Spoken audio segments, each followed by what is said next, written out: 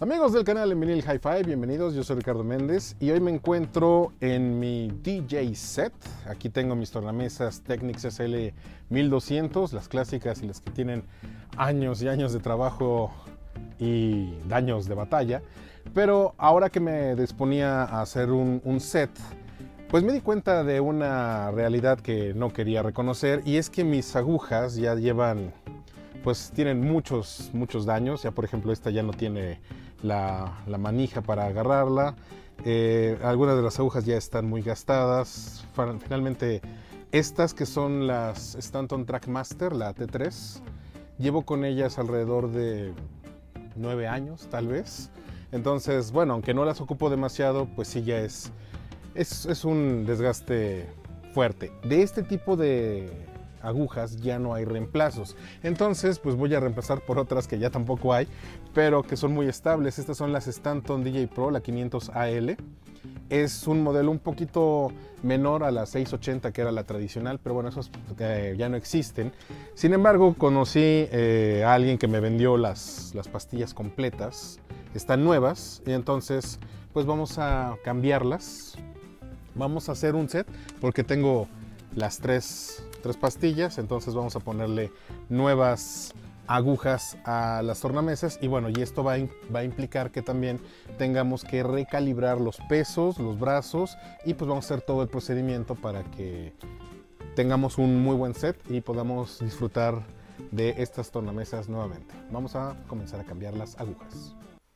Bien, pues ya estamos listos para poner las pastillas nuevas en, los, en la tornamesa. Ahora bien, esta que estamos usando, que es la Trackmaster, la B3, que pues bueno, se puede ver que es una pieza construida, es una pieza única.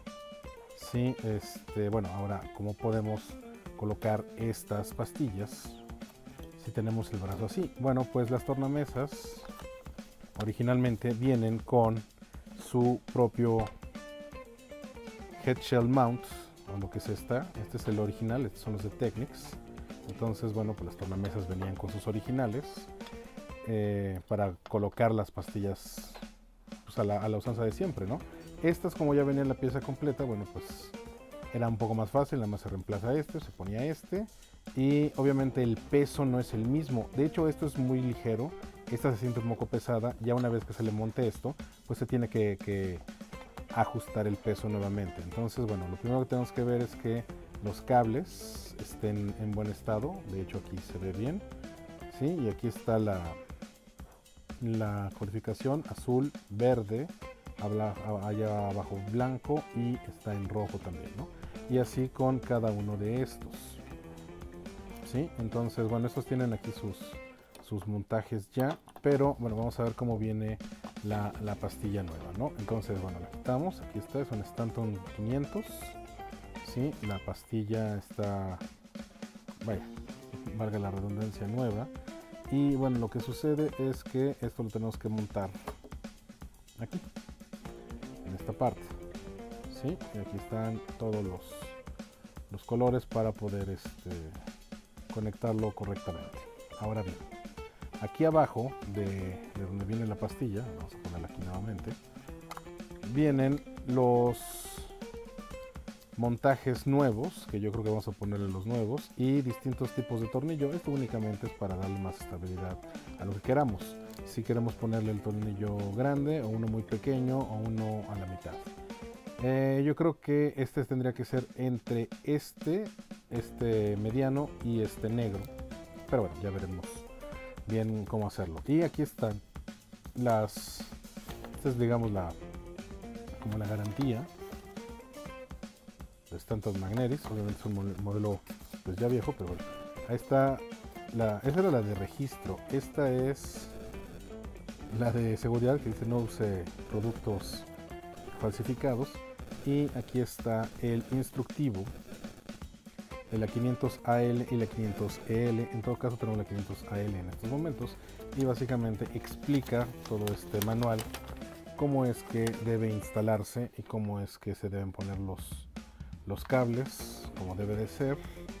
cómo se cambia la, la aguja, ¿sí? las protecciones y aquí tenemos cosas importantes. Bueno, también está cómo debemos guardarlo y ponerle sus protecciones y aquí vienen las especificaciones y de hecho está el material en español. Entonces aquí está la respuesta de frecuencia que es muy buena. 20 Hz a 20 kHz es prácticamente muy completo. Tiene una muy buena salida la separación de canales de 35 decibeles. Tiene una resistencia de carga de 47.000 ohmios. Es, básicamente son muy buenas estas, estas pastillas. Y aquí está donde dice que el peso debería ser de 5 gramos. Esto quiere decir que aquí lo tenemos que que pesar entre, aquí está, la fuerza de control tiene que ser entre 2 a 5 gramos, que básicamente este es el tracking force. El tracking lo tenemos que dejar entre 2 y 5. Básicamente el, el, tracking y el peso tienen que estar más o menos iguales. Y dentro de más especificaciones dice, bueno, pues aquí está el cambio de, de agujas, cómo, cómo, están, cómo estarían hechas, ¿no? Sobre todo los distintos modelos que podrían ser los reemplazos para esta misma pastilla. Bueno, entonces estas son las especificaciones. Ya cuando lo montemos a la tornamesa vamos a regresar estos valores de referencia, pero mientras vamos a comenzar a montarlas, montar la, la cabeza, la pastilla, en los balances. Entonces vamos a una sección de cámara rápida.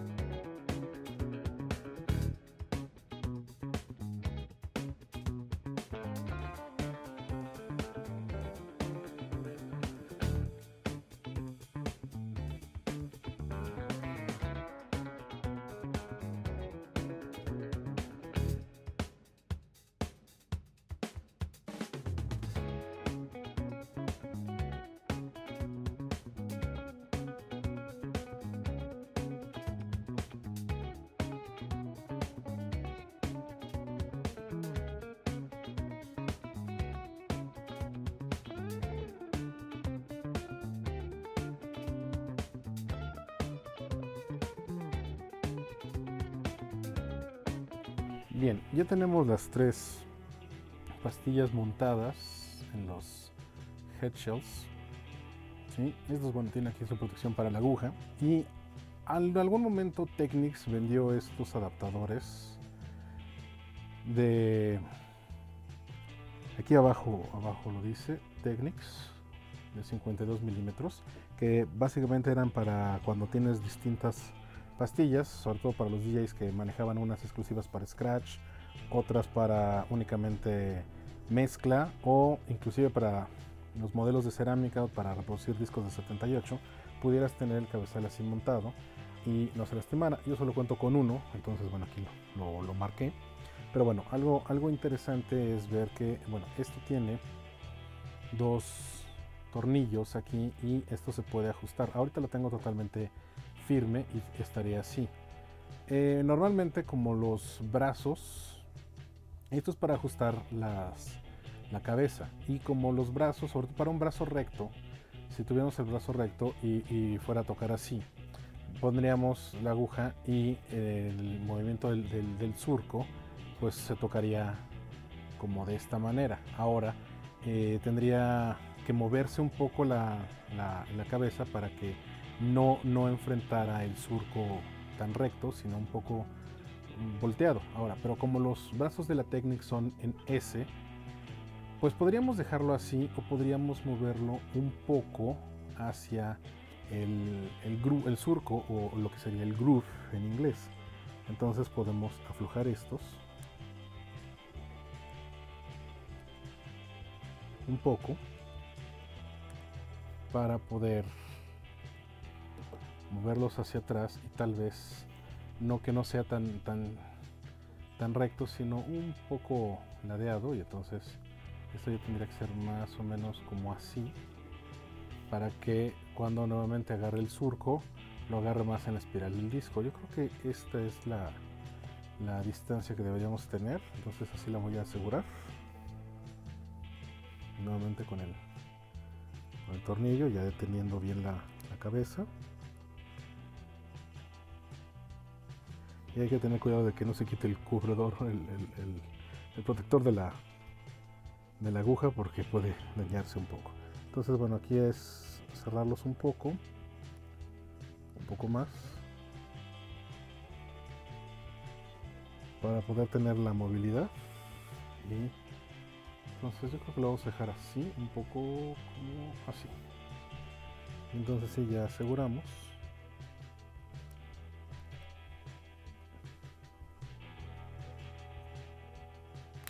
Y así pase lo que pase, pues ya no se mueve. Bien, ahora estamos listos para colocar nuestro nuevo cabezal. Digo, tan simple como que es ponerlo así. ¿sí? Entra y aquí se ajusta. Bien, eso no es todo. Ahora lo que tenemos que hacer es calibrar perfectamente la tornamesa con el anti-skate, el peso y cómo se logra eso. Hay varias formas de hacerlo.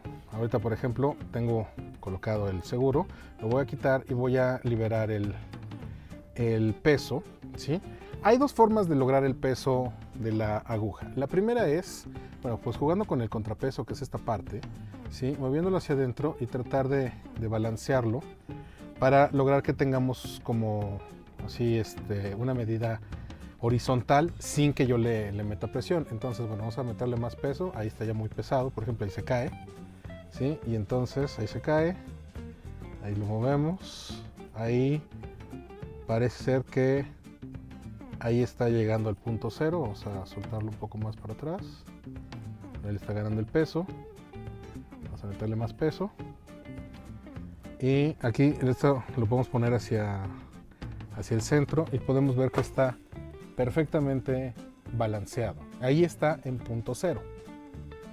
¿Sí? Lo que se hace en este caso es con la parte del contrapeso únicamente moviendo esta, esta perilla de- del peso se deja en cero.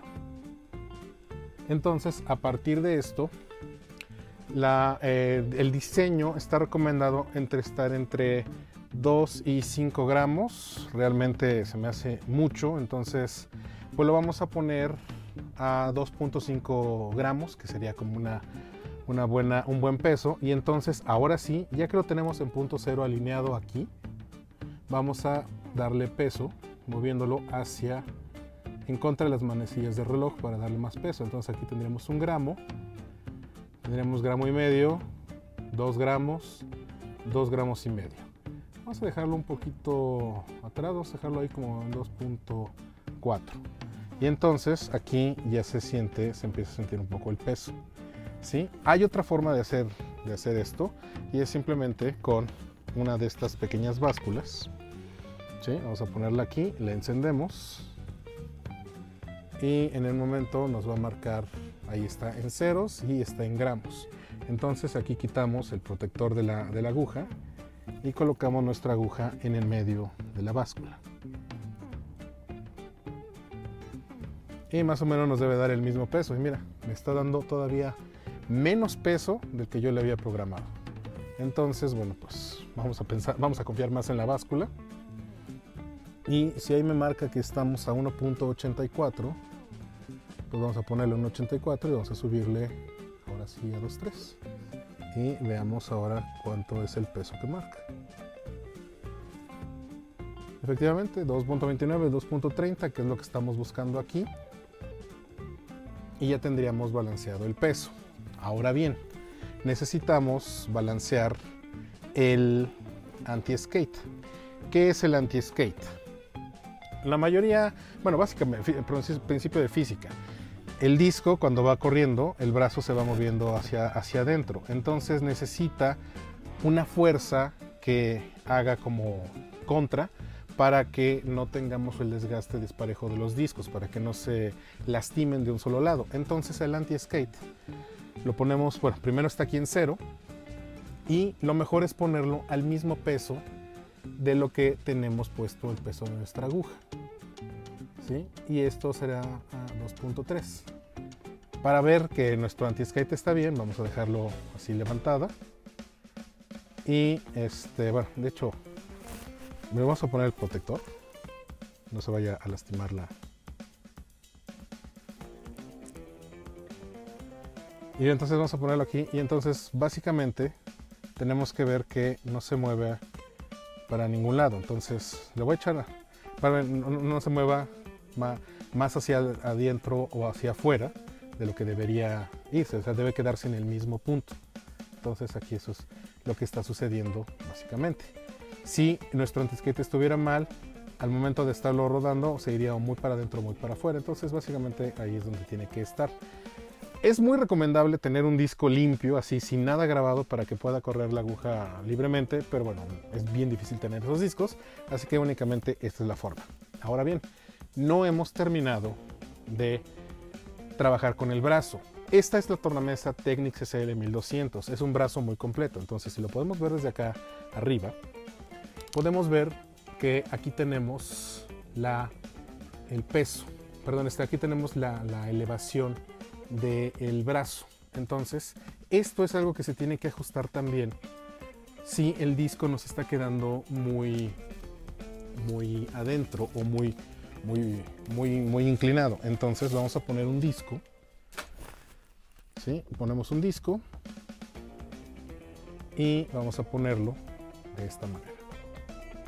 Entonces nosotros tenemos que ver eh, horizontalmente si el disco, más bien, si, el, brazo no está o muy en picada o muy como muy subido.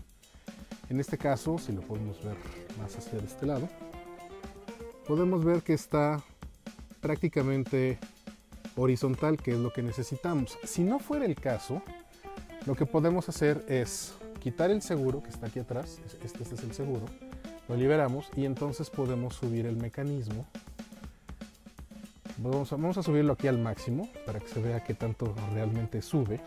Y entonces al momento de poner el, disco, podemos ver que el brazo está muy inclinado.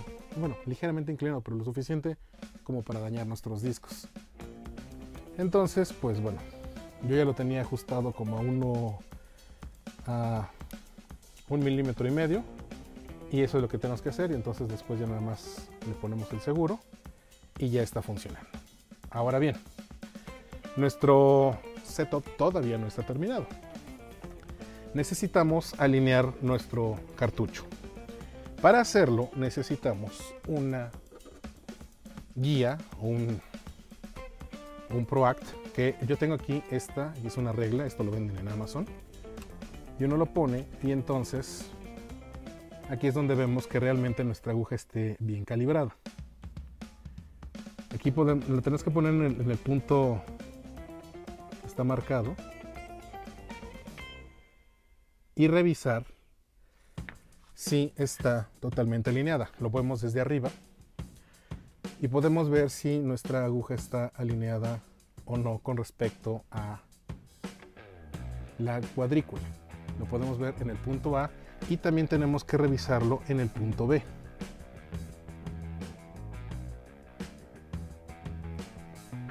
Ahí está. En caso de que no estuviera alineada, aquí sí está, está bien alineada, nosotros tendríamos que mover estos tornillos y poder y ajustar la cabeza para que quede totalmente alineada. Aquí ya me quedó bien alineada, entonces ya no necesito hacerlo. Y si no tienen este tipo de reglas, pueden entrar a varias páginas. Por ejemplo, está esta que es de vinylengine.com, es gratuita, solamente tienen que tener una cuenta. Y eh, funciona igual. Ustedes lo imprimen en una hoja, cortan aquí en el centro, aquí tiene como la guía, la ponen, ponen la, hoja, vamos a doblarla para que no se lastime, ponen la, la hoja y de igual manera pueden revisar si están alineados o no. Entonces esta es como la forma fácil, gratuita de, de hacerlo y pues ya está, nuestra tornamesa ha quedado alineada. Bueno, básicamente nuestra nueva pastilla ya está lista para funcionar. Le ponemos su protector para que no tenga ningún problema. Por algún accidente que pueda pasar que se, se vaya y siempre es bueno tenerla bien asegurada. Y entonces ya hicimos el cambio de la pastilla, porque bueno, ya meritaba y así es como se alinea y tenemos nuestra tornamesa lista para funcionar. Sin más, esto es el alineamiento. Cambio de, cambio de, pastilla, alineamiento, mantenimiento del brazo y todo para que funcione bien la tornamesa. Yo soy Ricardo Méndez, gracias por acompañarme a esta edición de En Vinil. Nos vemos la próxima semana. Por favor pongan sus comentarios, den like, compártanlo, suscríbanse, todo lo que hay que hacer. Y nos vemos muy pronto aquí en su canal En Vinil Hi-Fi.